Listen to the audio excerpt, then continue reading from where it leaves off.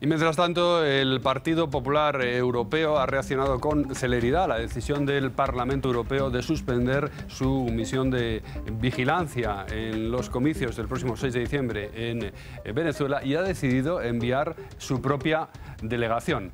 Hoy lo vamos a ver, han partido hacia Venezuela. El Parlamento Europeo había aprobado la semana pasada el envío de una delegación integrada por diputados de los principales grupos políticos. No obstante, en la conferencia de presidentes, los socialistas europeos se opusieron al envío de esta misión, alegando motivos de seguridad y consiguieron, junto con el apoyo de otros grupos, su cancelación definitiva. En consecuencia, y dada la gran importancia de las elecciones del próximo domingo, el grupo del Partido Popular Europeo ha decidido enviar una misión de observación electoral y ha pedido al vicepresidente primero del grupo y portavoz del PP en el Parlamento Europeo, Esteban González Pons, que la encabece. La misión, que acudirá a Venezuela a invitación de la Mesa de la Unidad Democrática, estará integrada por los eurodiputados Gabriel Mato, Agustín Díaz de Mera y Teresa Jiménez eh, Becerril y presidida por González Pons. Justo antes de tomar el avión, el venezolano TV España ha mantenido exclusiva un contacto telefónico con uno de los integrantes de esa delegación, le están viendo ahora en la imagen, es el eurodiputado Gabriel Mato.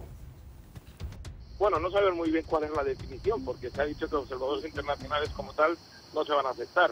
En todo caso, vamos como miembros del Partido Popular Europeo, como eurodiputados del Parlamento Europeo, a cumplir sobre todo un compromiso que habíamos hecho, ¿no?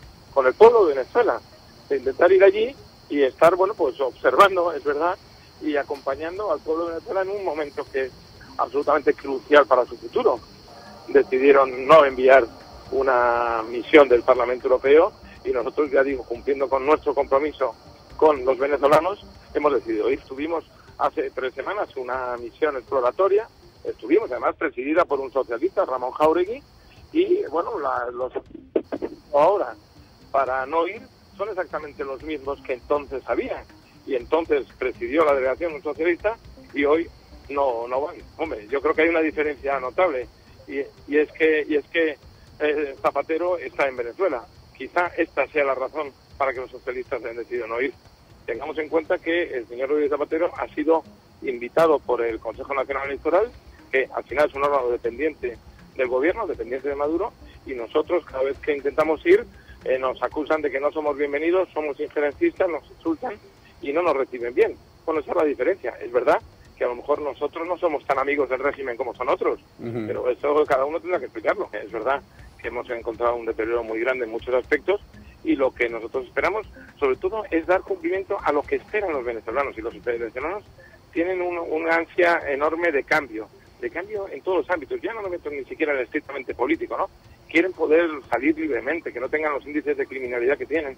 Y quieren también poder estar eh, teniendo, teniendo pues, los elementos básicos y cubrir las, las necesidades básicas, ¿no? Y hoy en día no lo tienen bueno, ellos entienden que hace falta un cambio en Venezuela y así lo van a intentar hacer. Vamos a ver, en todo caso, lo que sí que está claro es que tenemos que defender es el cumplimiento estricto de las leyes. Y es verdad que es muy difícil afrontar unas elecciones, bueno, pues cuando eh, los miembros de la oposición, muchos de ellos están, están encarcelados. Cualquier resultado tiene que ser administrado con sumo cuidado y yo creo que con miras abiertas. Al final, lo que está en juego es el futuro de Venezuela, de los venezolanos y eso es más importante que cualquier otra cosa.